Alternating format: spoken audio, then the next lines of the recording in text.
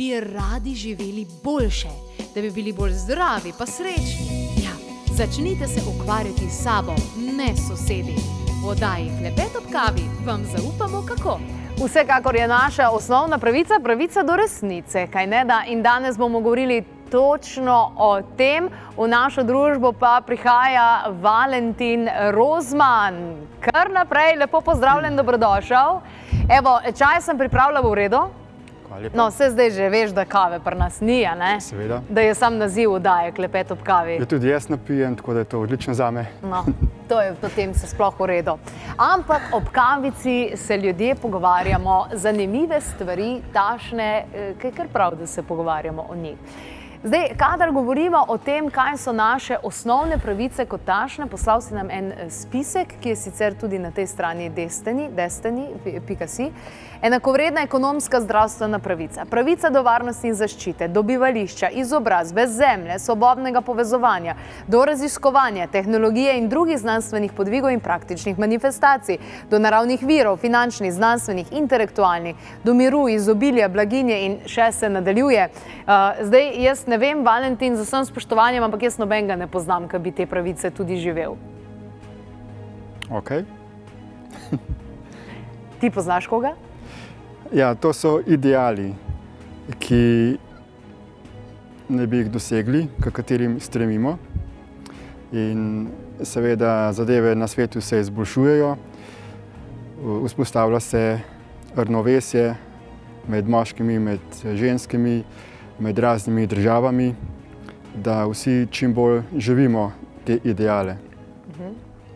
Ampak daleč se mi zdi, da smo še od tega, katera naša primarna človeška pravica nam je v tem času pravzaprav najbolj um, oduzeta.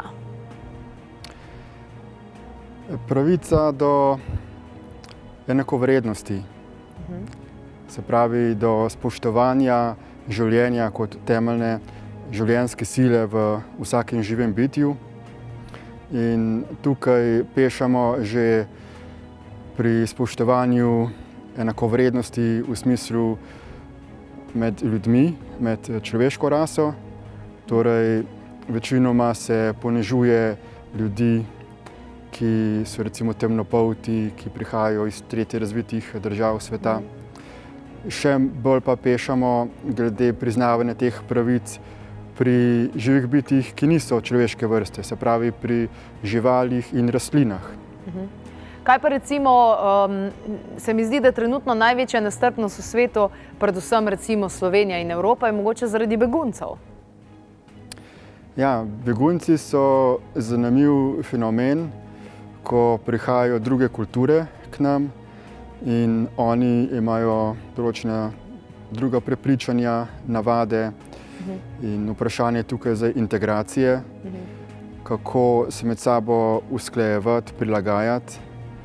Po drugi strani se mi pa zdi, da imamo v zahodnem svetu kar slabo vest, ker vemo, da mi v evropskih državah, v Ameriki, živimo na račun izkoriščene delovne sile v teh državah, iz katerih zdaj prihajajo begunci.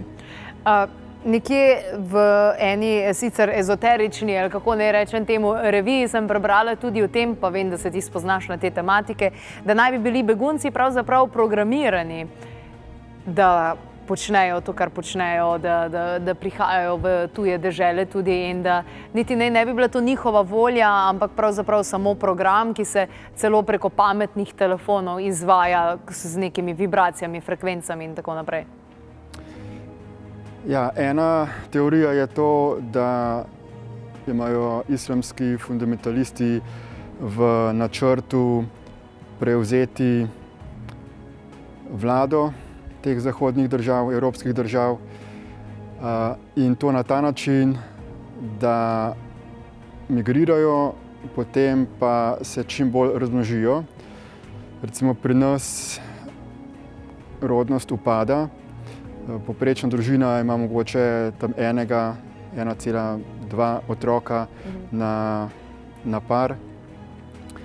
Oni imajo pa znotraj same njihove religije zapisano, da so otroci božji blagoslov in da se ne sme delati splavov, da ni nobene omejitve glede števila otrok, tako da ho, pri njih je normalno, če je recimo deset otrok v družini. Mhm. Se pravi, čez nekaj let ali desetletij nas bodo oni že številčno presegli in že enostavno po principu te direktne demokracije bodo oni lahko preko volitev uveljavili svojo kulturo ali ideologijo. Dobro, zdaj, eh, če gledamo iz tega stališča, če pa pogledamo mogoče malce širše, je pa na svetu tako ali tako preveč ljudi.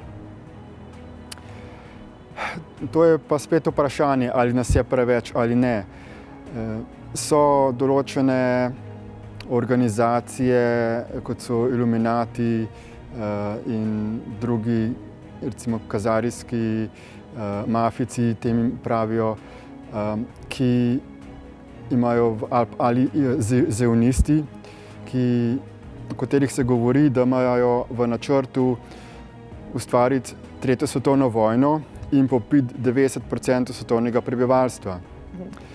Potem je pa spet nek primer, ko so združili vse ljudi na tem svetu na neko ozemlje, eh, ki ima tako gostoto poselitve kot recimo vele mesta. In mislim, da to ozemlje potem ni zasedlo uh, velikosti približno Slovenije. Torej, na tem svetu je dovolj prostora za vse.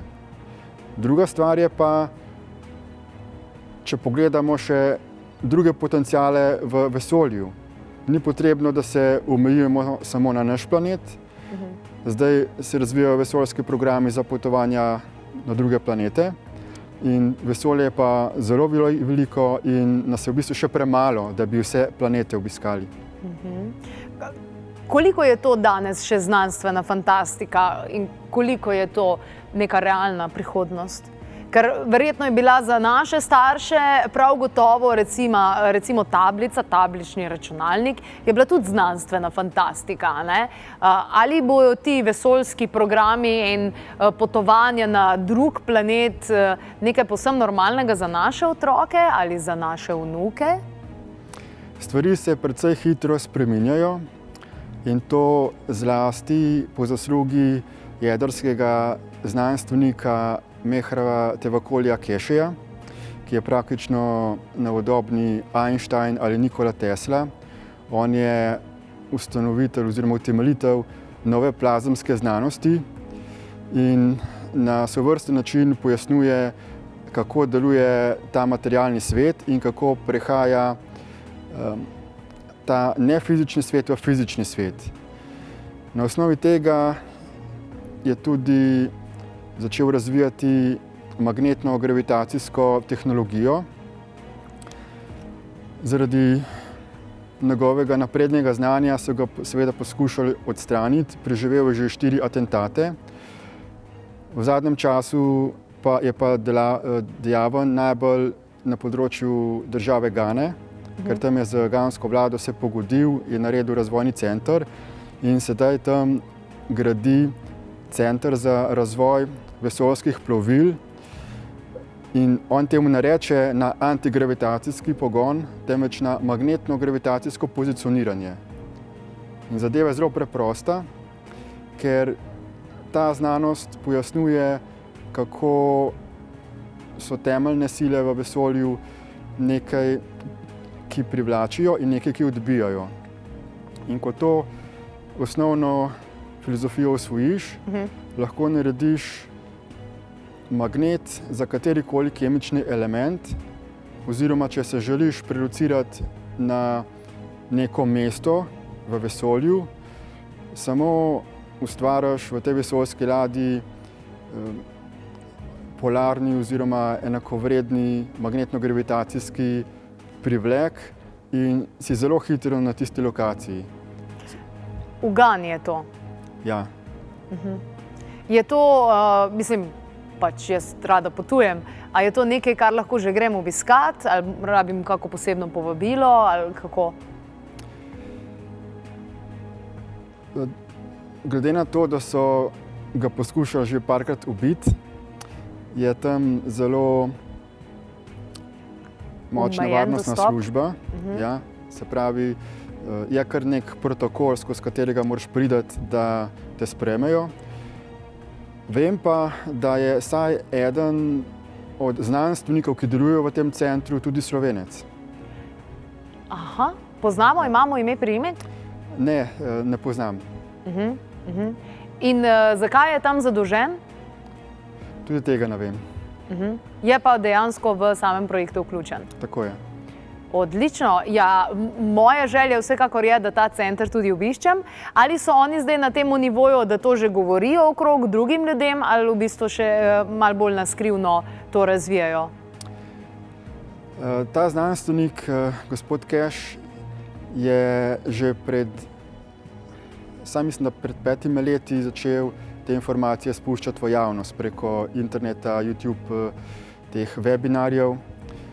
Pravzaprav je dal tudi vsem ambasadorjem držav sveta USB ključek z vsem njegovim znanjem, načrti. Se pravi, vse države na tem svetu imajo že informacije o tem, o tej tehnologiji, ki omogoča, da ustvarimo neskončno količino katerekoli vrste energije. Se pravi, mi imamo zdaj lahko že brezplačno elektriko, da ustvarimo katerikoli kemični element v izobilju, vključno zlato, srebro, te dragocene kovine, da potujemo na magnetno-gravitacijski pogon oziroma pozicioniranje, da si pozdravimo katerekoli bolezni. On ima zelo velike uspehe pri zdravljenju najhujših oblik tumorjev, raka. Skratka, to je rešitev, ki nas zdaj popolnoma usvobaja katerih koli teh materialnih eh, odvisnosti oziroma omejitev. In kako to, da ni ta novica vsem tem bolj senzacionalna, sej to je pravzaprav nekaj, kar reši cel svet?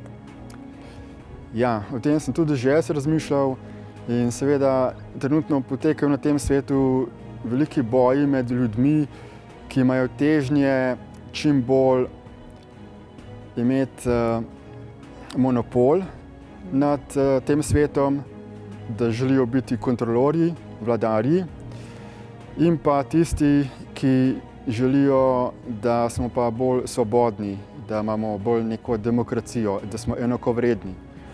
In berem redno poročila, kot so recimo Full Fault Report, Goldfish Report, ker se poroča o teh skrivnih ozadjih globalno političnih dogajanj. In dejansko ameriška vojska je zdaj tista, ki odstranjuje to zlobno elito, ki ima zaenkrat še vedno uh, dovolj kontrole nad trenutnim globalnim finančnim sistemom. In tudi zaradi tega še čakamo, da bi prišlo do uh, revalvacije globalnih valut in do vzpostavitve enakovrednosti med globalnimi valutami. Danes govorim z Valentinom Rozmanom, eh, se pravi do popolne destrukcije, da bomo lahko na novo tudi začeli graditi, kar se tiče eh, torej tudi finančnega dela, denarja kot tašnega. Imajo kriptovalute, o katerih se zadnje čase ogromno govori, tudi kaj je prsta vmes pri vsem tem? Seveda, in ne boš verjela, ampak ravno včeraj sem bil tukaj v Ljubljani na blockchain in bitcoin konferenci. Ja, kar eh, nekaj teh dogodkov se zadnje čase dogaja. Ste tudi, če ne bi hotela vedeti, je moj partner tukaj o tem, da vse vem. Hočem ali pa dejansko nočem. Eh, In kakšno vlogo igrajo, ker trenutno, kar se dogaja v tem svetu kriptovalut, se zdi predvsem velika iluzija in pa vse malo za lase privlečeno, ali kako zelo nerealno. Čeprav so nekateri kar realno je milijonari postali. Eh, V bistvu, če tako pogledamo, so ravno te fiat valute postale tako nerealne, da skoraj nikomur ni jasno, kako funkcionirajo, ker so razni te derivati, razne finančne manipulacije in fiat valute praktično nimajo nobenega kritja več v resničnih sredstvih. In te kriptovalute so pa ravno se izgradile kot neko protivtež tej manipulaciji iz strani a, teh a, družin finančnih, da bi omogočili večjo svobodo nam, ljudem, posameznikom, da nismo več vezani na njihova pravila igre, ampak da si ustvarjamo pravila igre, ki so nam po koži. Najlepša hvala za vse informacije. Valentin Rozman je bil danes v naši družbi.